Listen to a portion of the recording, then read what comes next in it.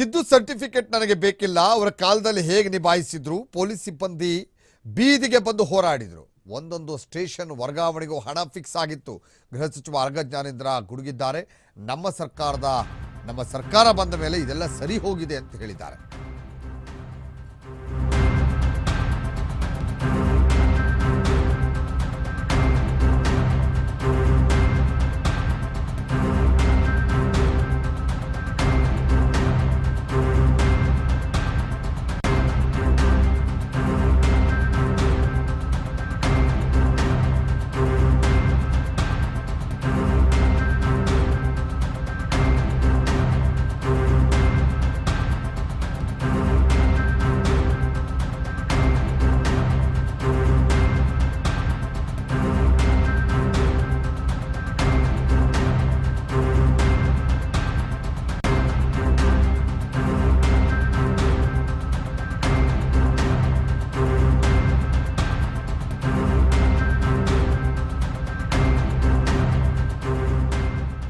Siddu certificate ನನಗೆ ಬೇಕಾಗಿಲ್ಲ ಅಂತ ಹೇಳಿದ್ದಾರೆ ಅರಗ ಜ್ಞಾನೇಂದ್ರ.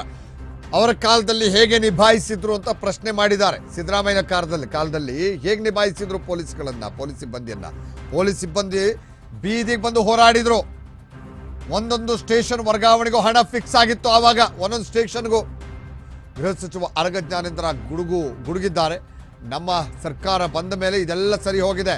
ಸ್ಯಾಂಟ್ರೋ ರವಿ ಕೇಸ್ ಮುಕ್ತ ತನಿಖೆ ಆಗುತ್ತೆ. ಸ್ಯಾಂಟ್ರೋ ಸಂಪರ್ಕದ ಮಾಹಿತಿ ಕಲೆ ಹಾಕ್ತಿದ್ದಾರೆ. ಅವರ ಕಾಲದಲ್ಲೂ ಈತ ಇರಲಿಲ್ವಾ? ಹಾಗಾದ್ರೆ ಸಿದ್ದರಾಮಯ್ಯವ್ರ ಕಾಲದಲ್ಲೂ ಇರಲಿಲ್ವಾ? ಇಪ್ಪತ್ತು ವರ್ಷದಿಂದ ಸ್ಯಾಂಟ್ರೋ ಈ ಮಟ್ಟಕ್ಕೆ ಬೆಳೆದಿದ್ದಾನೆ. ಮುಂದಿನ ಮೂರು ತಿಂಗಳಲ್ಲಿ ಇವರ ಬಣ್ಣ ಬಯಲಾಗುತ್ತೆ ಅಂತ ಬೆಂಗಳೂರಿನಲ್ಲಿ ಗೃಹ ಸಚಿವ ಅರಗ ಜ್ಞಾನೇಂದ್ರ ಹೇಳಿಕೆ ಕೊಟ್ಟಿದ್ದಾರೆ.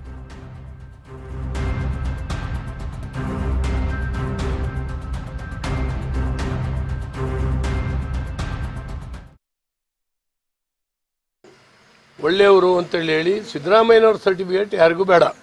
ಯಾಕಂದ್ರೆ ಸರ್ಟಿಫಿಕೇಟ್ನ ಕೊಡುವ ಸಿದ್ದರಾಮಯ್ಯನವರು ಅವರು ತಿಳ್ಕೊಂಡಿದ್ದಾರೆ ಅವ್ರು ಮಾತ್ರ ಸ ಒಳ್ಳೆಯವರು ಒಳ್ಳೆ ಆಡಳಿತಾಧಿಕಾರಿ. ಉಳಿದವರೆಲ್ಲ ಸರಿ ಇಲ್ಲ ಯೂಸ್ಲೆಸ್ ಅಂತೇಳಿ ಹೇಳಿ ಬಾಯಿಗೆ ಬಂದಂಗೆ ಮಾತಾಡ್ತಾರೆ. ಕೆಲವು ಶಬ್ದಗಳನ್ನು ಉಪಯೋಗಿಸ್ತಾರೆ. ಒಬ್ಬ ಮಾಜಿ ಮುಖ್ಯಮಂತ್ರಿಯಾಗಿ ಅವ್ರಿಗೆ ಶೋಭೆ ತರೋದಿಲ್ಲ ಇದನ್ನು.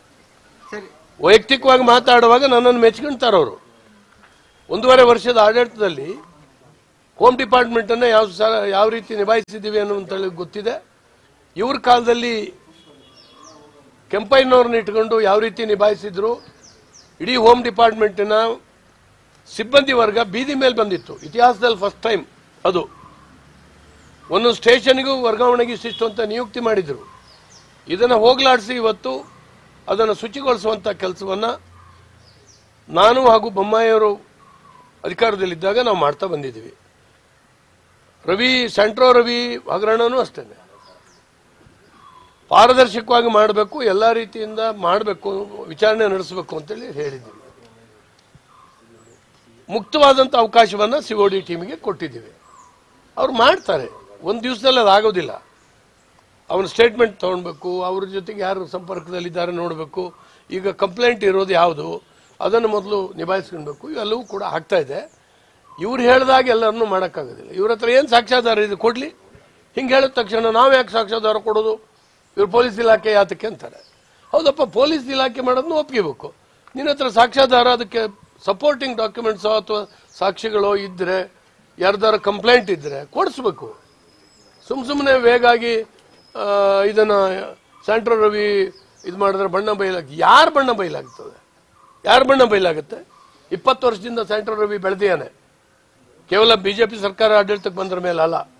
ನೀವಿರ್ಲಿಲ್ಲ ಆಡಳಿತದಲ್ಲಿ. ಹಾಗಾಗಿ ಅದನ್ನ ಎನ್ಕ್ವೈರಿ ಸರಿಯಾದ ರೀತಿ ಮಾಡಿಸ್ತಾ ಇದ್ದ, ಮಾಡ್ತಾ ಇದ್ದಾರೆ. ಹೀಗಿದ್ದೇನೋ ಹೇಳ್ಕೊಂಡು ಈ ಮೂರು ತಿಂಗಳಲ್ಲಿ ಇನ್ನೂ ಏನೇನೋ ಅಪಾದನೆ ಮಾಡ್ತಾ ಹೋಗ್ಬೋದು ಅಂತ ತಿಳ್ಕೊಂಡಿದ್ದಾರೆ.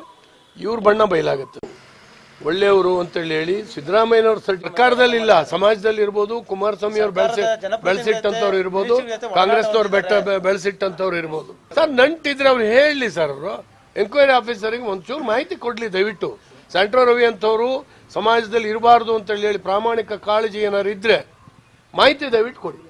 ನಾವೇನಾದ್ರೂ ಅದನ್ನ ಸ್ಟಾಪ್ ಮಾಡಿದ್ರೆ ನಿರ್ಬಂಧ ಮಾಡಿದ್ರೆ ನೀವು ಬೆಕ್ಕದ್ದು ಹೇಳಿ ಒಳಗೆ ವರ್ಗಾವಣೆ ದಂಧೆ ಬಗ್ಗೆ ನಮ್ಮ ಹತ್ರ ಎಷ್ಟು ದುಡ್ಡು ಇಸ್ಕೊಂಡಿದ್ದಾನೆ ಇಂಥವ್ರು ವರ್ಗಾವಣೆ ಆಗಿದೆ ಇದನ್ನ ದಾಖಲಾತೆ ಇದ್ದರೆ ಅದನ್ನ ಮಾಡ್ತಾರ್ರಿ.